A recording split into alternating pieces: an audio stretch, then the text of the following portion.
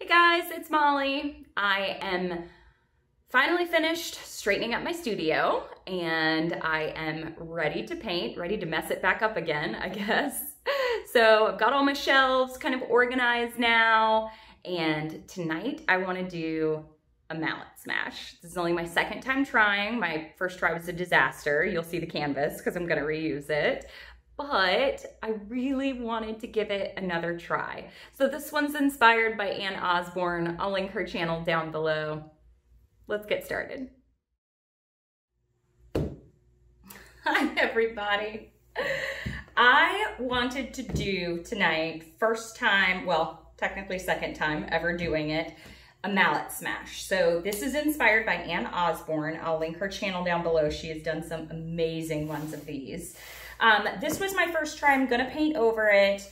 It, it, my paints were too thin. I learned a lot on this one. I love the cell reaction I got. I love the little lines I drew in it, but the paint was just too thin. My colors were too thin and the, uh, you know, I had them almost like a Dutch pour. This paint is much thicker. So I'm going to, I'm not gonna blow dry this paint out. I'm actually going to spread it with my spatula. I just got this with my um, cake spinner, which is how I spin paintings.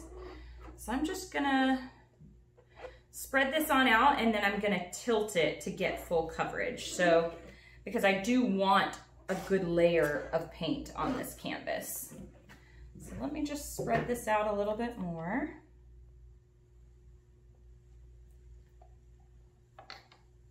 Okay. I'm using some fun colors tonight. Purples, and blues. A lot of you people have been asking about, you people, a lot of people have been asking about the um, paint stands that I use and I have, was working with a company to make some and it has, COVID has shut that down for now, but they are from Home Depot. They are called sprinkler helmets. So all right. More to come for that. Okay, so now I'm gonna tilt and you can see the paint starts moving. I think I'm gonna put a little bit more in the middle here. All right, tilt it on off. There we go, now it's moving well. And the paint will level out for the most part, even when it's kind of thick like this. Like this is about the consistency I use for my ring pours and my straight pours. Tilt this way. Get it over my Veffy mat.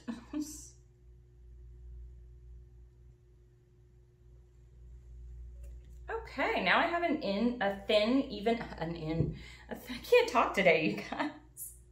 Okay, end the video. Molly can't speak. Just a little bit more around the sides. And that is it.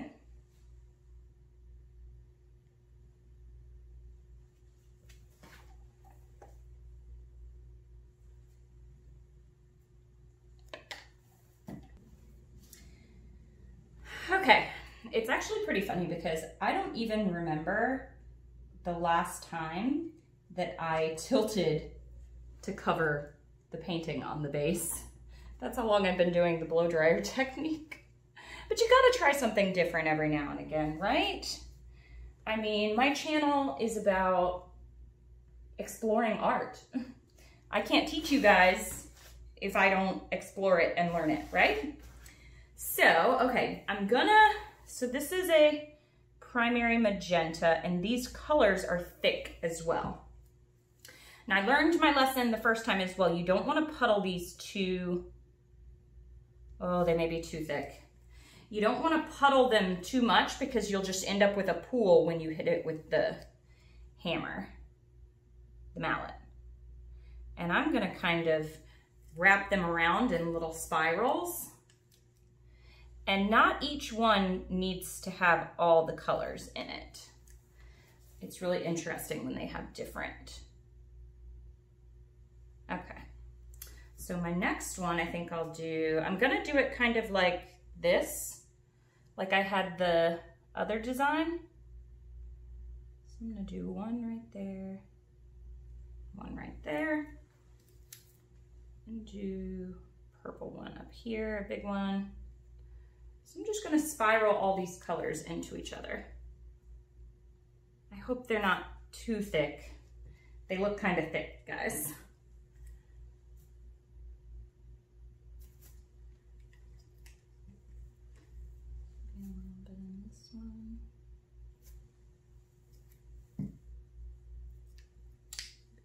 Puddle right there in the middle. This is my regular pouring medium. This is not my old school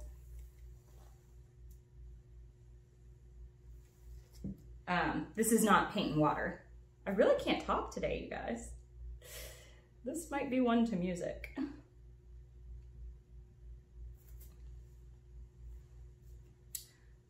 and then a little bit of orange on top of this one. Okay. Okay, here we go. This part always this makes me nervous. Okay, let's see what happens. Ready? Oh, I need my paper towels. Oh, can you guys see that? Wow, that the bottom of that mallet is gorgeous. Okay. I like the little squigglies.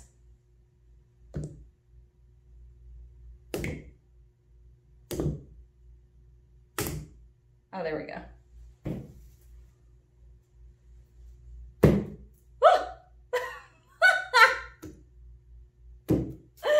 it's going everywhere. oh my goodness. Okay. So you gotta get like a good whack at it. That one's really cool. I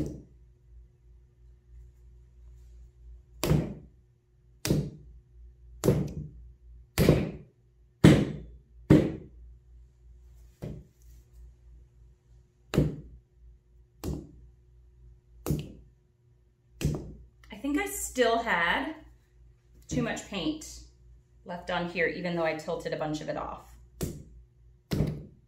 There we go. You almost gotta like move the mallet around a little bit.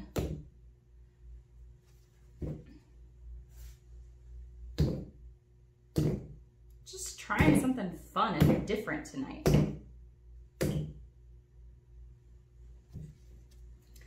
You want to wipe your mallet off too because it gets kind of muddy.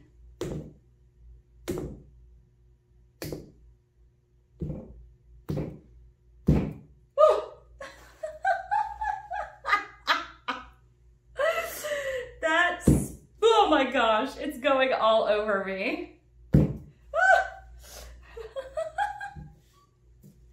okay, if you guys do this at home, you definitely need a bunch of uh, coverage, like plastic or something. I'm really liking this. I want to kind of connect these, I think.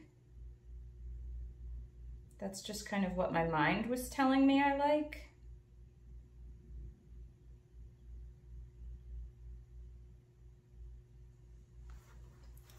And then I feel like I want maybe just one. This is a more muted puddle down here. I feel like maybe I want just one more kind of bright orangey, orangey puddle right up here. The orange and magenta. Maybe a little bit of gold. Okay. All right, here we go. I don't know how you do this, Ann. Hers come out looking so beautiful. This is totally different. I'm just taking my finger and kind of drawing little designs in this. which I kind of like. It's adding like a little bit of dimension. This section over here is absolutely gorgeous.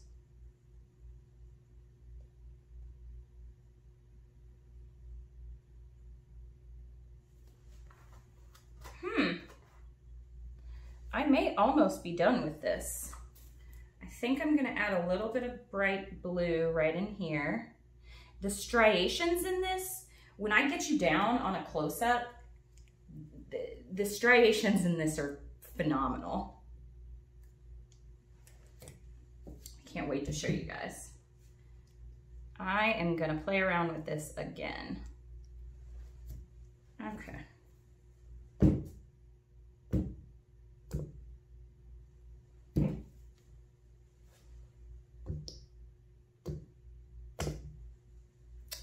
don't want to muddy too many areas. Every time you hit something, it's like, it disrupts like the entire ecosphere of what it was living in. That was real art talk right there.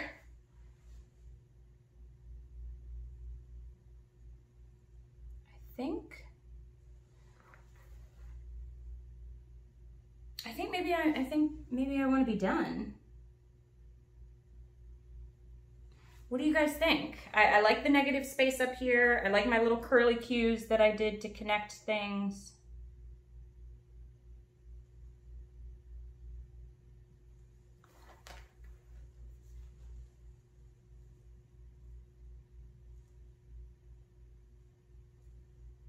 Yeah. This one right here bothers me though.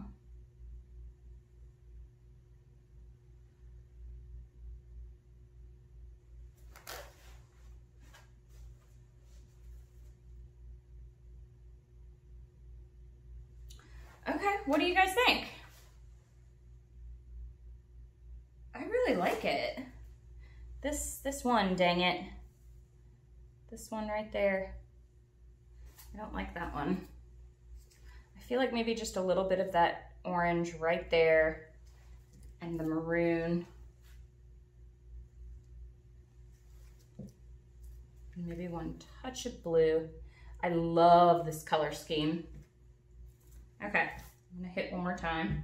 I one more.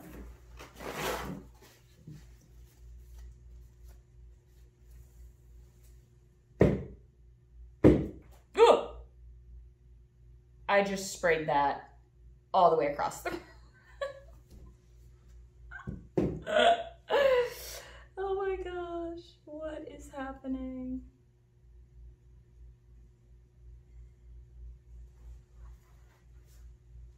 I like that little bright splatter there.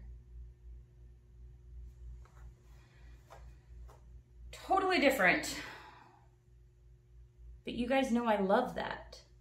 I love trying new things. It is so exciting. Okay. Yeah, I think I'm I think I'm done. I like it kind of messy. This is super duper cool. I'm gonna take you down and show you. Okay, so this probably did not look like much from the angle that you guys saw.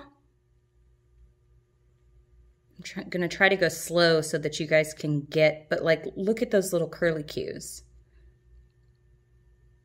All the different marks that are in there, look at that. Look at that. I mean, you could literally stare, I'm trying not to make you guys dizzy, at this painting for like a week. This is my favorite area up here. That little burst of color that's right there. That's my favorite section. Wow. So totally cool. I'm very, very happy with this. For my second try, I will take it. All right, I'll show you how it dries. This piece is so cool. All those little bits and pieces, the gold little pieces that pop through. All those little designs stayed exactly in place. Oh my gosh my favorite part up there. Let me see if I can, yeah, see that gold? Craziness. I love it. So pretty. You guys let me know. All right. Thanks for watching. Happy painting. Bye.